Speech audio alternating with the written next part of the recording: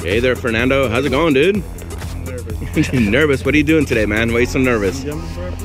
That's pretty intense, man. I can see why you're nervous, man. Where's your parachute? I don't have one. I think you were supposed to bring your own, man.